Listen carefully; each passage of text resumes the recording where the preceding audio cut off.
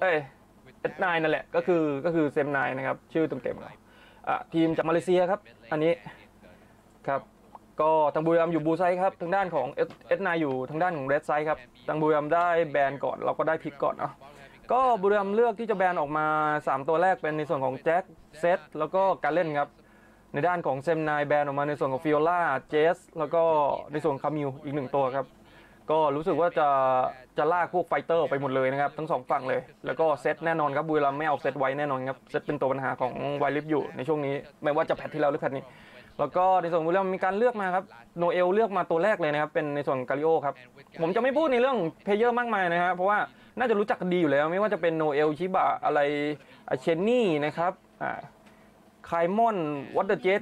วัตวัตเตอร์เจสน่าจะรู้จักอยู่แล้วนะฮะไม่รู้ว่าเขาเรียกกันไคมอนเรื่องเรื่องคิดได้หมด เอาเอาที่เอาที่สบายใจเนี่ยจะไม่ฝอยเยอะเยอะอ่าก็จะเห็นครับว่าโนเอลหยิบมาก่อนเป็นในส่วนของ Galio ครับ Galio นี่อาจจะไป sup ก็ได้หรืออาจจะไป mid ก็ได้เนาะแล้วก็พอพอพอ Galio โผล่มาใช่ไหม SEM9ก็ได้เลือก 2 ตัว ก็เลือกในส่วนของ Morgana มานะครับบอบูดMorgana มีบอบูดแล้วก็เลือกในส่วนของ Darius มาอ่าจริงๆนี่ Darius นี่ถ้าผมจำไม่ผิดโนเอลก็เล่นเก่งนะ Darius แล้วใน Wild Rift นี่ทางด้านของ Darius นี่ถูกถูก pick เยอะมากนะครับ pick เอ่อไม่ค่อยถูกแบนอะถูก pick 50 กว่าเปอร์เซ็นต์แล้วไปดูอัตราอัตราการที่ว่าทีมแข่งนะฮะทีมแข่งเล่นในลีก แล้วอัตราชนะอยู่ประมาณมากกว่า 50%อะ51 52%ประมาณเนี้ยนะครับตลอดนะครับดังนั้นแสดงว่าส่วนมากแล้วถ้าทีมไหนมี Darius อะมีเปอร์เซ็นต์ชนะ มากกว่าแพ้นะครับอะ แล้วก็ทางด้านของบุรีรัมย์กลับมาเลือกในส่วนของ Senna กับ Irelia ครับแหม Irelia เป็น top lane เหมือนถูกบังคับให้เล่นเนาะไปเจอกับในส่วนของ Darius เนาะ Irelia มันมีข้อเสียอยู่เหมือนกันนะฮะถึงแม้ว่าเลนจะ strong แต่ว่าข้อเสียก็คือว่า teamfight ไม่ได้มีมี skill ที่จะเข้าไปช่วยเหลือเพื่อน หรือว่าจะไปทำประโยชน์ใน teamfight ได้ดีขนาดนั้นอะถ้าเปรียบเทียบกับ Darius ผมมองว่า Darius ในเวลาคลุกวงในคลุก teamfightนะในปลายเกมนี่ Darius มีประโยชน์กว่านะครับจากจากความสามารถเลือดตกของเขานะแต่ถ้า Irelia มันไหลตอนต้นเกมนะ ก็อีกเรื่องหนึ่งอะแล้ว SEM9ก็เลือกในส่วนของ carry มาเป็นในส่วนของ Lucian ครับผมเข้าใจว่า Senna เนี่ย Senna ของบุรีรัมย์เนี่ยน่าจะเล่น carry อันนี้ผมยังไม่ได้ดูนะครับ ผมแค่เคยเห็นมันขึ้นมาใน Facebook ว่ามันมีงานแข่งตัวนี้อยู่นะแล้วมีทีมบุรีรัมย์ไปแข่ง แต่ผมไม่ได้ดูแมตช์นะครับ ปล่อยผ่านนะครับตอนนั้น แล้วก็มาส่วนการแบนชุดที่ 2 ครับ ในด้านของบุรีรัมย์แบนชุดที่ 2 เป็น Olaf กับในส่วนของ Jarvan IV ถ้า Jarvan IV หายอย่างนี้แสดงว่า Xin Zhao อาจมาไหมต้องดูนะครับ เพราะว่า Fiora ก็โดนปิดไปแล้วนะครับอ่าในส่วนของ SEM9ครับ S9เลือกแบนต่อมาในส่วนของไดอาน่ากับในส่วนของ Akali ครับโอ้โหเรียกว่าปิด top lane ยับเลยครับไม่ว่าจะเป็น Jayce เป็น Fiora เป็น Camille เป็นไดอาน่าเป็นอาคาลีฮะปิดท็อปเลนยับเลยครับท็อปมิดอย่างเดียวเลยครับอย่างนี้นะในส่วนของซากิครับซากิของเซมไนครับเลือกมาในส่วนของ อะไรอะราคานะฮะราคาอ่าฮะคิเนมอนอะคีเนมอนอะไรก็ได้อะไม่รู้ฮะ เอาที่สบายใจเดี๋ยวให้เจ้าตัวเขามาแก้วเองงานเอาเป็นว่าผมจะพยายามเลี่ยงเลี่ยงการเรียกชื่อ player แล้วไปเรียกชื่อตัวละครแล้วกันครับ เพราะว่าบางทีมันก็ไม่รู้เรียกผิดนิดเดียวก็อ่อนไหวนะฮะอะมีการเลือก Ahri มาครับ น่าจะเป็น Ahri mid lane ครับ แล้วตามมาด้วย Rengar เป็นป่าโห Rengar นี่เป็นป่าที่เถื่อนนะ เถื่อนในเรื่องของ damage นะฮะ ถ้าเขามี bush ยังไงเขาก็กระโดดได้ตลอดแหละเนี่ยตัวนี้บาดาก็ไม่ต้องใช้นะครับ มีเป็นตัวที่ gank น่ากลัวมากนะ มีการหยิบ Pantheon มาครับ เข้าใจว่า Pantheon น่าจะป่าหรือเปล่า เพราะ Pantheon ป่าได้นะ แล้วป่าได้ค่อนข้างดีด้วยนะครับสำหรับใครที่เล่น Pantheon แล้วถ้าเกิด Pantheon มัน เก็บ stack ได้ก็เอาเรื่องอยู่ฮะมีบับเบิ้ลบอกว่า Morgana น่าน่าจะป่า แต่ไม่รู้นะ Morgana ป่าไม่ทันแดก Rengar แน่นอนเลยอะต้นเกมอะเลนเลนก้าป่าเถื่อนกว่าถึงแม้ว่ามอกมันจะถูกอะไรเขาเรียกว่าอะไรนะถูกถูกบัฟมาแล้วก็ตามนะถูกบัฟบอบูดนะฮะทอมเมนเทสมาแล้วก็ตามให้มันตีพวกเอ่อมอนเตอร์ได้เร็วขึ้น แต่ว่านะก็ยังว่ายังไงผมก็มองว่าผมผมให้ เพราะไงเลนก้านี่มันอยู่มันมันเป็นป่าที่อยู่ในแรงเอสแรงเอเลยนะ น่าจะยังแรงเอสอยู่อะS rank อยู่อะเออ แต่ว่ามันดีกับการเล่น solo queue มากกว่าทีม แต่ว่าถ้าเกิดต้นเกม Rengar ทำได้ดีก็สบายไปเลย โคตรสบายไปเลยฮะก็เขาเลือกกันครบแล้ว เดี๋ยวก็คงเข้าไปในเกม ดูจากตัวละครของฝั่งฝั่งบุรีรัมย์ damage จัดมากเลยนะ โคตรจัดเลยฮะแล้วก็ต้องเล่นต้นเกมด้วย โดยรวมเนี่ยต้องเล่นต้องต้องต้องพยายามเล่นให้เร็วด้วยเพราะถ้าเล่นถ้าเล่นช้านี่อาจจะมีเหนื่อยได้ในตอนปลายเกมถูกปะทางด้านของเลนก้าเองก็เป็นตัวที่เก่งเก่งต้นต้นต้นยันแบบกลางปลายๆเลย เดี๋ยวพอปลายๆแล้วพอเวลามันจะทีมไฟท์หนักๆเนี่ยเลนก้ามันจะมันจะลำบากดังนั้นต้นเกมต้องเล่นให้ดีเลยต้องเล่นให้คมเลย ถ้าเล่นไม่คมนี่ลำบาก เวลาผมเจอในแรงกิ้งแล้วเจอเลนก้าผมยังปวดหัวเลยลำคาญมัน นะ ultimate มันก็ Thrill of the Hunt แม่งก็มองเห็นประตูด้วยอะต้องหนมาด้วย เป็นอะไรที่น่าหงุดหงิดนะมันเวลามันกดใช้แล้วมันจิตวิทยามันเยอะ ส่วน Ahri ไม่ต้องถามอยู่แล้วเป็นตัวที่ damage จัดอยู่แล้ว ในช่วงของต้นเกมถึงถึงกลางเกมเลยสำหรับ Ahri มี mobility สูงมากนะครับ มีซีซีก็มีแหละ แต่ว่าเป็นซีซีที่ไม่ค่อยแม่นยำต้องให้เพื่อนจับก่อนหรือต้องใช้เทคนิคของผู้เล่นเยอะนะครับสำหรับ Ahriแต่เป็นตัวคล่องมาก ๆ ไม่ใช่ว่าตัวที่จะ ไปโดนโดน Rakan จับง่ายๆ ก็คงไม่นะครับ แต่ว่าเพราะว่ามีสปิริตแล้ว แต่ว่าถ้าเกิดโดน Pantheon กระโดดตบหัวก่อนก็อีกเรื่องหนึ่งนะ แต่ด้านบนนะ Darius กับ Irelia ครับ น่าจะสู้กันได้พอสมควรครับ แต่ถ้าพูดถึงภาษีแล้ว ผมมองว่าช่วงก่อนเลเวล 5 ผมให้ Darius นะ เพราะ Darius มัน level 5 มัน sustain กว่า แล้วมันมันรอ Irelia เข้ามาแล้วคอยปัดอะครับ เข้ามาในเกมครับทางด้านของโนเอลโดนก่อนเลยครับกระโดด stun มาแล้วเป็นนอนครับ Rakan นี่ Grand Entrance ก็มาน่าจะ first blood ครับแบบนี้ ไม่น่ารอดหรือเปล่าเรียบร้อยครับเขาเปิดประเด็นมาก็กดบนเลยครับเพราะว่าดูการ ban ของ SEM9 มาแล้วเนี่ยเขา ban กดบนมากฮะเขา ban ปิดบนมากแล้วใช้วิธี gank สามอะ gank สามเราได้เลยฮะเปิดมาก็เอางี้เลยนะโหดจริงฮะจะไม่ให้ยืนเลยฮะโอ้เกินไป วิธีเล่นแบบเกาหลี อืมวิธีเล่นแบบแบบเกาหลีอะจีนก็เล่นอย่างนี้นะจีนจีนเดี๋ยวนี้จีนจีนเอกซีฟแล้วเกาหลีก็เอาแบบจีนไปไปเดินเกมตาม มาถึงก็เปิดเลยฮะหนึ่งนาทีนิดๆเองอะอ่าเฟิร์สบัตไปแล้วครับมาทางด้านของเซมไนครับ คนที่โดนฆ่าไปก็เป็นโนเอลนะด้านบนเนี้ยอ่า Irelia ครับ Irelia มันต้นเกมไม่มี skill หนีขนาดนั้นครับถ้าใช้ stun ไม่ได้ก็คลิปหายแล้วครับโดนแคมป์ครับแล้ว stun ไปอีกหนึ่งทีครับแล้วแทงหอกครับ stack ห้าครับจังหวะนี้ตายอีกรอบครับ ชัวร์ครับ เพราะว่าเห็น Pantheon stack ห้าแล้ว damage จัดแน่นอนนะฮะโนเอลโดนไป 2 kill ครับเขาย้ำฮะไม่ใช่เรื่องดีครับ แบบนี้โดนครับ โอ้โห orb เข้ามาแล้วได้แน่นอนนะฮะแม่เขาจับภาพช้าไปหน่อยฮะแต่รู้สึกว่าจะโดน Rengar กับทางด้านของ Ahri เล่นงานเข้าให้ครับ Lucian มา mid ครับ แล้วไล่ยิงแบบนี้ยังไงครับ Rengar ต้องจ่ายแฟดครับ เข้าลึกเกินไปหรือเปล่าครับ มี Rakan มาอีกครับ Rakan roaming แต่ต้นเกมครับ ปล่อย Morgana อยู่คนเดียวครับ เรียกได้ว่ากลายเป็นว่า พูดง่ายๆแล้วกัน เอา Morgana ลงไปล่างแล้วเอา Lucian ที่เป็น ADC อะมากลางแทนนะ เพราะ Lucian นี่มันเป็น ADC ที่กด mage ได้เกือบทุกตัวนะ แล้วที่ผมเจอมานะครับตอนนี้ยังกด mage ได้ทุกตัวนะ เพราะ skill ไกลแล้วสแปมถี่ด้วย จะมีปัญหาเดียวก็คือว่าใช้ mana เปลืองไปหน่อยเท่านั้นเอง Pantheon ลง ultimate อย่างเร็วฮะเร็วเร็วมากๆครับ ulti โอ้โหเรียบร้อยฮะ โดน Noxian Guillotine โนเอลโดนกดซ้ำสามเลยฮะคือนาทีละตัว เรียกว่านาทีนาทีละ kill เลยนะครับสำหรับทางด้านของบุรีรัมย์โนเอลโดนไปนะครับสามนาทีโดนไปสาม kill ครับ โอ้SEM9 ขึ้นนำครับ ตอนนี้ 3 นาทีสกอร์อยู่ที่ 1 ต่อ 4 ครับบุรีรัมย์เป็นฝ่ายตามฮะแล้วก็การเงินก็อย่างที่รู้ครับ ถ้าถ้ามันนำอย่างนี้มันก็ต้องนำครับต้นเกม 11.7 ต่อ 13 นี่ ต้นเกม 3 นาทีนับว่าเยอะครับ ต่างกันประมาณพันหนึ่ง ไม่ไม่ใช่เรื่องเล่นๆเนี้ย Irelia ก็ต้องกัดฟันทนนะ กัดฟันฟาร์มครับ แล้วออกในส่วนของเอ่อ Vampiric มา เอามาดูดเลือดครับ จริงๆจริงๆธรรมดาถ้าไม่ถ้าไม่นั่นนี่ไอริเลียจะไม่ออกแวมพลิกก่อนนะครับเพราะว่าเป็นตัวที่มีสกิลในการดึงเลือดอยู่แล้วนะครับแต่ว่าแมสเซอรี่ของของเขาของนเอลเขามันมันมันเป็นคอนโคลเลอร์นะอืมไม่ได้เอาในส่วนของอะไรนะไอรองเท้าทองมานะครับ มีการตัดวอร์ดครับดิสวอร์ดออกวัตเดอร์เจสครับ เล่นในโซนกาลิโอครับ มามาโลมิงครับ มากอกกลอยู่แถวตรงนี้ครับ ตรงกลางแล้วก็ทางด้านของเซมไนครับ เอาในส่วนของRift Scuttler ทีครับเอ้ Rift Herald ทีครับขอไป น่าจะได้ด้วยครับ เพราะว่าผมว่าไม่พร้อมนะฮะทางด้านของบุรีรัมย์ไม่พร้อมที่จะเคาน์เตอร์แน่นอนเพราะว่าทางด้านของบนเนี่ยฮะ top lane ครับ Irelia นี่โดนไปหนักมากครับถ้าเข้ามาก็โดนอีกอะครับบอกเลยหรือว่ามันทิ้งด้วยนะครับของทิ้งด้วยนะครับ นะฮะแต่ว่าทางด้านของ Rengar ครับชิบะครับของบุรีรัมย์ไปเอาในส่วนของมังกรได้ครับแลกกันไปครับรู้สึกได้ในส่วนของมังกรน้ำไปครับผมไม่ค่อยชอบการจับภาพของเขาสักเท่าไหร่นักตรงที่ว่าเขาไม่ค่อยเปิดกรอบไอเทมให้ดูฮะทำให้เราไม่รู้ครับว่าเขาถืออะไรอะไรบ้างอะคือปิดปิดกรอบบ่อยมากอะ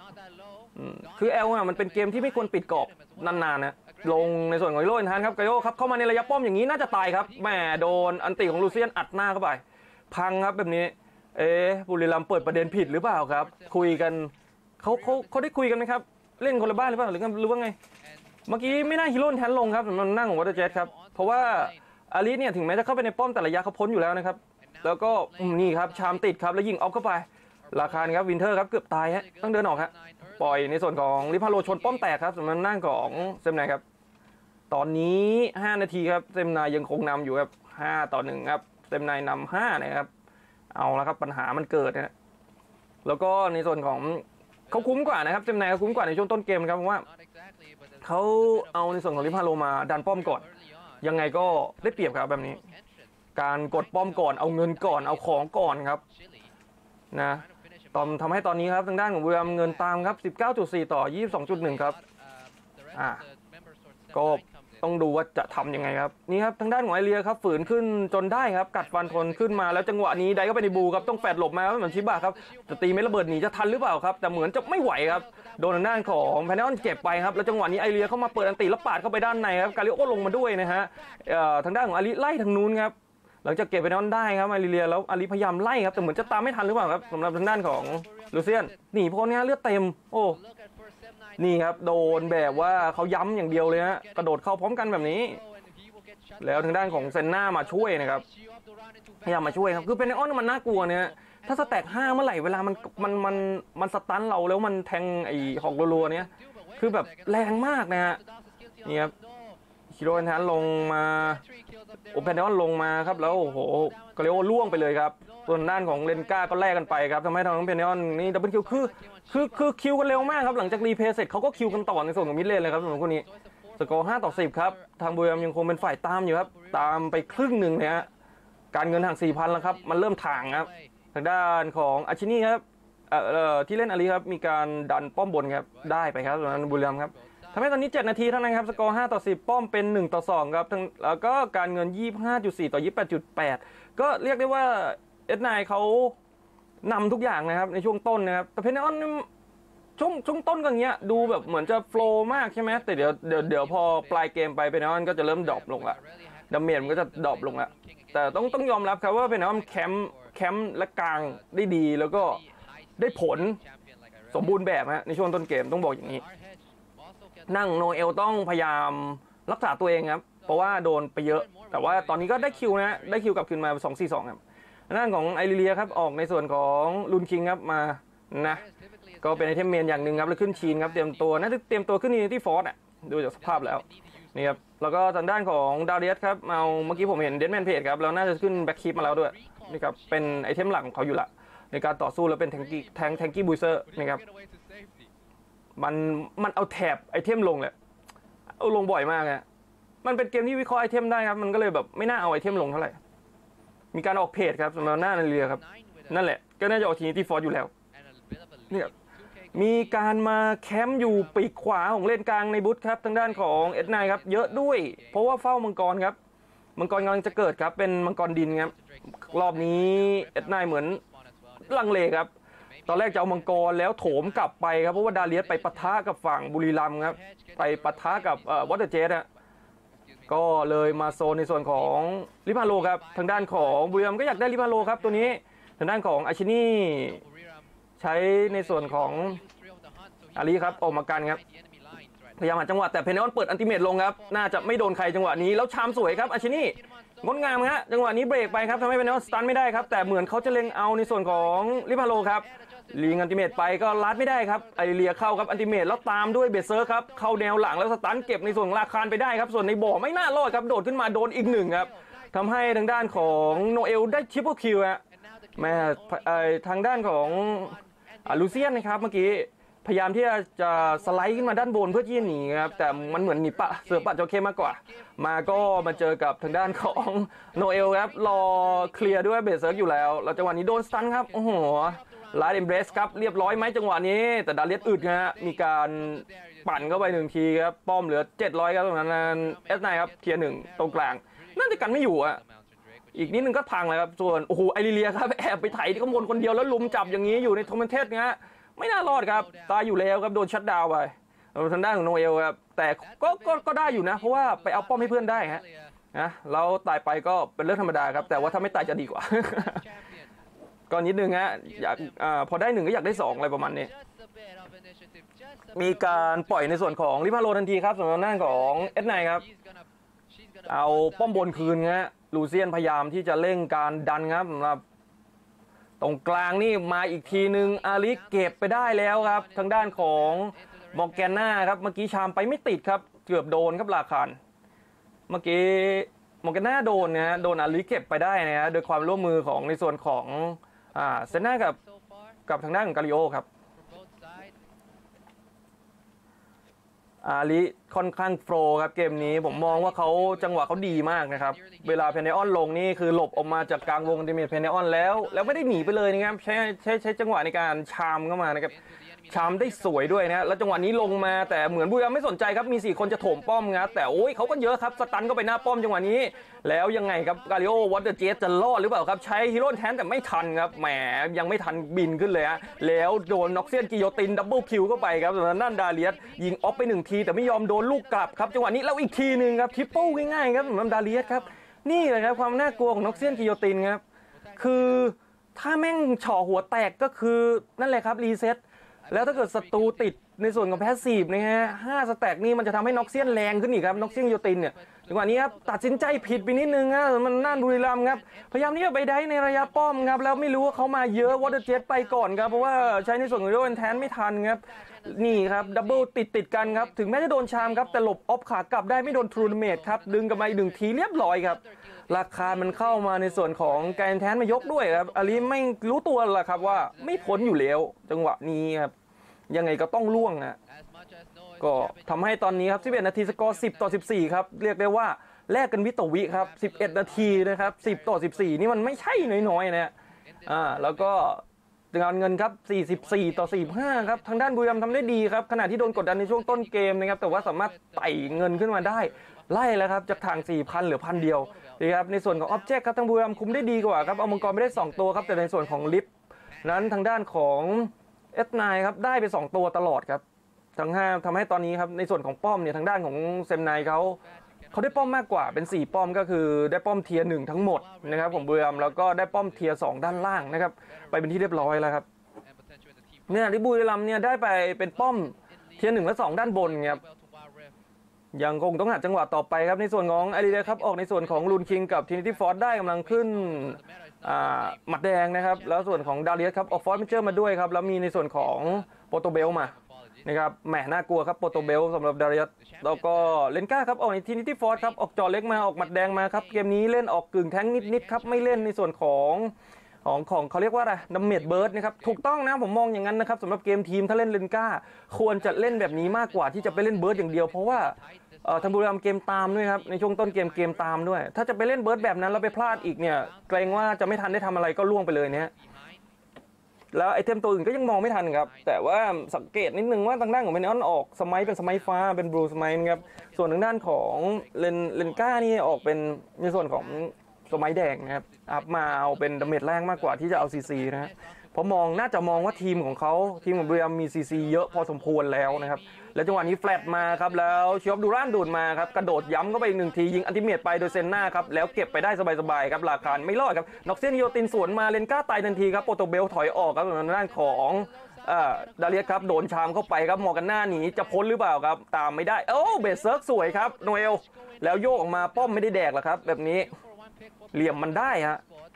จังหวะนี้ปล่อยบูทผีครับตามไล่หรือเปล่าครับ ไม่ครับ เอาในส่วนของเทเรตก่อนครับทำให้ทางด้านของบุรีรัมย์ครับ ไฟนี้เป็นฝ่ายได้เปรียบครับ แล้วก็เอาในส่วนของเทเรตกลางได้ด้วยจังหวะนี้ครับ สวยครับแฟดไปแล้วก็ใช้คอมโบกันครับ ระหว่างเซน่ากับไกโอครับเชิออฟดูรานเข้ามาล้านติเมตอัดเข้าไป เสริมเกาะด้วยทำดาเมจด้วยครับแล้วแพทล่าสุดเนี่ยเซน่าเขาถูกปรับเปลี่ยนด้วยนะครับ ให้โอ้นี่ครับโนเอลสวยครับเหลี่ยมนั้น เสียบเข้าไปด้วย Bladesurge แล้วไม่โดนป้อมครับมุมมันได้พอดีอะเอ่อ patch patch ก่อนหน้านั้นเซนนาถูกปรับให้ ultimate ช n น e ลิงเร็วขึ้นนะครับ ก็คือเหมือนยิงกระสุนเร็วขึ้นอะ ออกเร็วขึ้นครับ พูดง่ายๆกันไม่ทันครับสำหรับป้อมป้อม tier สองด้านบนของบุรีรัมย์ครับ โดนมินเนี่ยนครับฝูงมินเนี่ยนของ S9 เขา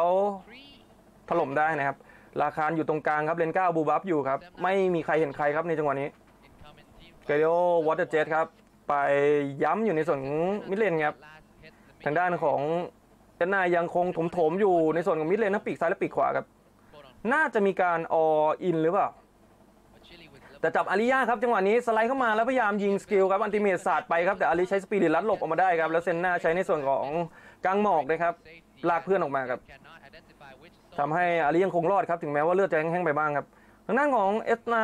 มีการแคมป์ครับหน้า Baron ครับถ้าเดินไปผิดทางเป็นเรื่องครับแต่เปิดผีไปก่อนเห็นแน่นอนครับแต่จังหวะนี้วัตเตอร์เจสเดินเข้าไปหลุดคนเดียวครับแล้วโดนจับอย่างนี้จะรอดหรือเปล่าครับใช้ Shield of Durand เบรกไว้แต่เพื่อนซ้ำ damage ไม่ได้ตายลงไปครับหน้าของกาลิโอครับน่าเสียดายครับเพราะว่าเดินเข้าไปเร็วเกินไปครับอุตส่าห์ปล่อยผีไปแล้ว ถ้าถ้าเดินเข้าไปช้ากว่านี้ไม่ถึงระยะ stun นี่น่าจะน่าจะไม่โดนครับน่าจะไม่โดนแล้วจังหวะนี้ครับโอ้โหโปรโตเบลไปดึงอย่างเร็วครับกระตุกกลับมาครับแต่ว่าเลือดค่อนข้างเยอะครับสำหรับหน้าของ เลนก้าครับทำให้ไม่สามารถเบิร์ดชุดเลนก้าได้นะพยายามที่จะสแกนวอร์ดแล้วดิสวอร์ดของฝั่งเซมไนครับสำหรับหน้าของชิบะ แล้วโอ้โหแกนเนแทนไม่โดนครับ สวยหลบมาพยายามหลบครับ ต้องแฟดหลบมาหาทางด้านของเซนนาครับultimate เร็วมากครับสำหรับด้านของลูเซียนครับ ทางด้านของ S9 zoning อยู่ในส่วนของ Baron Nashor ครับ ทางบุรีรัมพยายามดัน mid lane ครับโถม เลนก้ามีการเช็คครับ เช็คในส่วนของ Baron Nashor ครับ จะเจอหรือเปล่าครับ เหมือนกระโดดใส่นะฮะ เมื่อกี้เหมือนกระโดดใส่ในส่วนของพนเนออนครับ ตามไปแล้วครับน่ะพนเนออนต้องแฟดหลบครับ แล้วไอริเลียมาผมว่าได้ฮะ ไอริเลียมาดัก stun ทีหนึ่งแล้ว Bladesurge แต่จะหลบแต่พนเนออนเปิด ultimate หนีฮะแม่ไปแล้วครับ ไม่อยู่ให้ฆ่าครับแม่ช้าไปจังหวะหนึ่งครับสำหรับหน้าบุรีรัมครับ น่าเสียดายครับ เกมเริ่มเปลี่ยนครับ ถ้าสังเกตดีบุรีรัมกลายเป็นฝ่ายไล่กลับครับ ตอนนี้ วอเตอร์เจสพยายามที่จะป้องกันในส่วนของมินเนี่ยนที่ดันโถมมาในด้านบนไงไม่อยากให้โถมมาเยอะครับ ตอนนี้ทางบุรีรัมย์ยังตัดสินใจเอาในส่วนของบรานชอไม่ได้นะครับ ถึงแม้ว่าจะกลับเป็นฝ่ายไล่ก็ตามนะครับ เพราะว่าถ้าพลาดไฟหนึ่งอาจจะเสียได้ทั้งหมดเลย เพราะว่ายังไงยังไงมินเนี่ยนครับดูดูดูฝูง minion ครับทั้งบนและล่างนี่โถมเข้ามาเยอะมากนะครับ ลึกมากครับทำให้โซนนิ่งหรือระยะการเดินป่าของฝั่งบุรีรัมย์เนี่ยน้อยน้อยมากนะครับ จังหวะนี้เปิดครับสำหรับเซมนายครับเปิดเอาในส่วนของ Baron Nashor ทีครับ ไม่ให้เจอผีเปิดเข้ามาตีลุงเข้ามาเช็คครับด้านของบุรีรัมย์ไล่ครับทางด้านเซนายเซนายไม่กล้าเอาต่อครับ ต้องถอยทันทีครับ เพราะว่า damage จัดครับทางด้านของบุรีรัมย์ damage จัดมากนะครับตอนนี้ 17 นาทีครับสกอร์หรือว่าห่างกันไม่มากครับ 12 ต่อ 16 ครับ การเงิน 61 ต่อ 60K ครับ ก็คือบุรีรัมย์กลับมาเป็นฝ่ายพลิกนำเพราะว่าคุมออบเจกต์ได้ดีกว่า มังกรไฟ มังกรดิน มังกรลมเป็นของบุรีรัมย์ทั้งหมด 3 ตัวนะครับ ตอนนี้ แต่ถ้าถ้าเป็นแบบนี้ต่อไปบุรีรัมย์จะสามารถเล่นเกมลากยาวได้ดีกว่าเพราะสเตตของมังกรจะคุมได้หมดนะทางด้านของราคารเดินนำมาพยายามที่หาจังหวะเข้าแต่เข้าไม่ได้นะครับสำหรับทางด้านของวินเทอร์อ้จริงครับ ถ้าเข้าทางแคบก็เสร็จบุรีรัมย์จริง เพราะบุรีรัมย์มีในส่วนของฮีโร่แทนของกาเลโอพร้อมกับ ultimate ของเอเรเลียครับ สบายครับ แล้วพอพอจังหวะโดน slow แบบนั้น